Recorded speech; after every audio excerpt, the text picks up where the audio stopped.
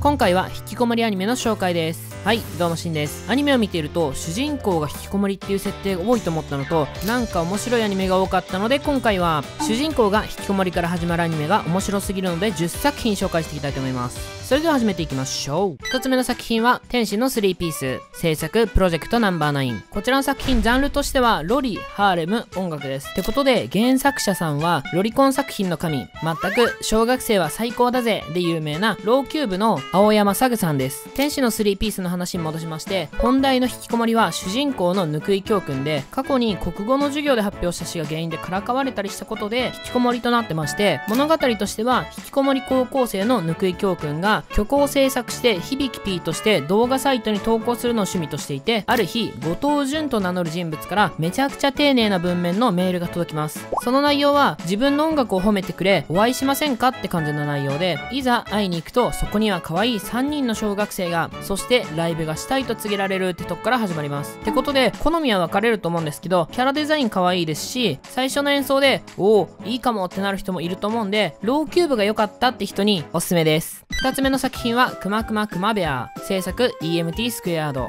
こちらもタイトルでどんな作品か想像できない感じなんですけどジャンルとしては異世界主人公最強系ですね。本題の引きこもりはユナっていう主人公で15歳の少女であり引きこもりで VRMMO の廃人ゲーマーなんです。ですけど凄腕のトレーダーで株取引の才能があって高級マンションに一人で暮らしています。そんな彼女なんですけどある日いつものようにゲームをプレイしようとしていたら運営からゲームでのプレイ時間が一定時間を超えたユーザー限定のプレゼントとしてチート性能を持つが恥ずかしい見た目のクマセットをもらいその後神様によってゲームにそっくりな異世界に飛ばされてしまう。まあ元の世界に戻る理由もないし異世界生活を満喫しようってとこから始まります。こちら1話が結構唐突に物語が始まるので何これってなるかもですけど2話見れば先ほど説明した物語の流れが分かるようになってます。気楽に見れる作品で2期制作も決まってますし異世界主人公最強が好きな方にいいのかなって思います。3つ目の作品は神様のメモ帳制作 JC スタッフ。こちらなんとなくタイトル聞いたことあるかなと思うんですけどジャンルはミステリーと群像劇って感じです。引きこもってるのはヒロインのアリスっていうキャラで自称ニート探偵であり凄腕のハッカーなんですけど基本的に探偵事務所から出ることのないドクターペッパーと熊のぬいぐるみが好きな引きこもりキャラです。作品の物語は主人公の藤島成美くんがある日事件の現場を目撃してしまって後日クラスメートのバイト先のラーメン屋に連れて行かれそこには事件の現場にいた少年たちがさらに店の上階にあるニート探偵事務所へ配達をさせられることに。そこに行ってみるとモニターだらけの部屋でパジャマ姿の少女がいてなんだかんだで助手として巻き込まれていくってとこから始まります。複雑な探偵ものってよりは群像劇を見たい方にいいかなって思います。4つ目の作品はこのの素晴らしい世界に祝福を。制作スタジオディーン。こちらめっちゃ有名なんでサクッといきます。ジャンルは異世界コメディでみんなこちら結構思いついたと思うんですけどカズマも一応引きこもり設定で物語は引きこもりゲーマーのカズマがゲームの初回限定版をゲットするために珍しく外にゲームを買いに行った帰り道でトラクターに惹かれそうな女の子を助けようとして死んじゃって女神アクアに異世界に持っていくものを選ぶように言われたのでアクアを選んだってとこから始まります。こちら新作アニメ制作も決定してますし楽しく見れるんでおすすめです。5つ目の作品は NHK にようこそ。制作ゴンゾー。引きこもりといえば絶対に外せない作品でタイトルの NHK にようこその NHK は日本引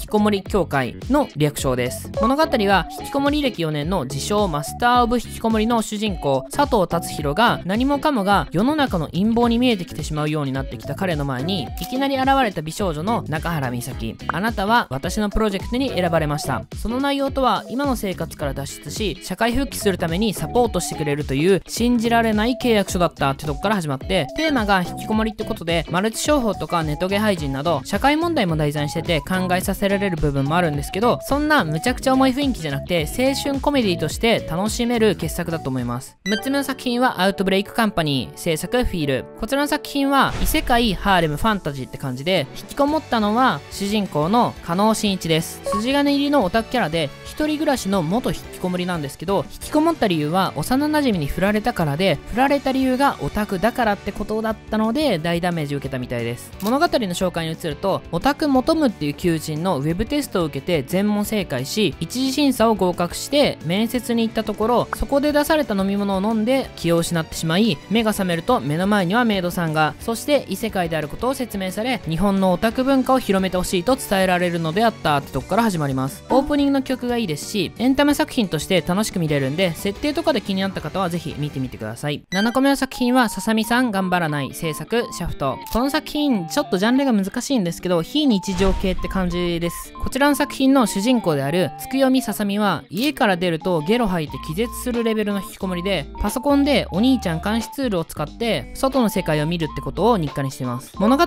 は頑張らないささみさんが尽くしてくれる兄にチョコを渡してなんか不思議なことが起きていくみたいな感じで分かりにくい物語とシャフトの癖強演出でかなり人を選ぶ作品だと思います。ちなみに話変わるんですけどスロットの台も出てます。8個目の作品はローゼンメイデン制作ノーマット。ローゼンメイデンなんですけど実は2013年スタジオディーン版もあるんですけど初めて見るならおすすめはこちらのノーマット制作の方なんでこちらを紹介します。ジャンルは人形が出てくるバトルファンタジーです。で今回の引きこもりは主人公の桜田淳くんで中学生の引きこもりで裁縫が得意なんですけどさらに通販で買ったものを返品するのが好きな少年です。物語なんですけどある日部屋にあった大きな箱を開けると中には美しいし真っ赤な衣装を着た人形が入っていてゼンマイを巻くと人形が動いて喋り出したのであった。この人形との数奇な出会いから彼の運命が大きく動き出していくことにって感じでちょっと古いんですけど主人公の成長していく姿とか描かれてて素晴らしい作品ですし最初は人形みたいになるんですけど見てたら可愛く見えてくると思います。あとオープニングがめっちゃ頭に残る名曲なんでよかったら見てみてください。9個目の作品はノーゲームノーライフ。制作マットハウス。ってことでこちらもみんな思いついたと思うんですけどジャンルは異世界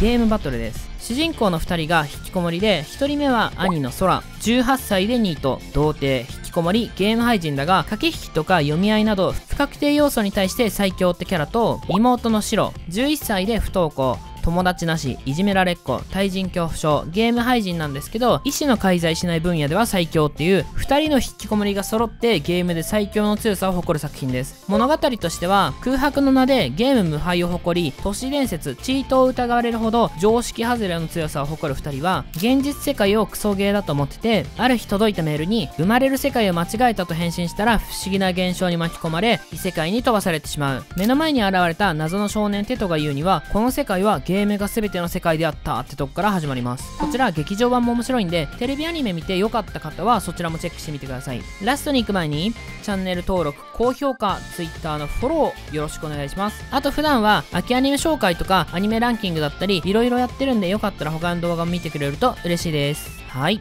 10個目の作品は無色転生制作スタジオバインド。ってことでやっぱこの作品は外せないと思って選びました。ジャンルは異世界ファンタジーなんですけど主人公が高校時代のいじめが原因で34歳まで引きこもってて家を追い出された直後に高校生を助けようとして自己死するっていう前世があります。作品の物語としては死んだはずだった主人公なんですけど目が覚めると赤ちゃんの姿になっていた。今度の人生は本気で生きていくってとこから始まります。主人公が赤ちゃんの頃からいろんな経験をして成長していって人生を描いてるって感じで本当に面白いんでよかったら見てみてください。次回名作。さてこの次も。サービスサービス。それでは皆さんまたね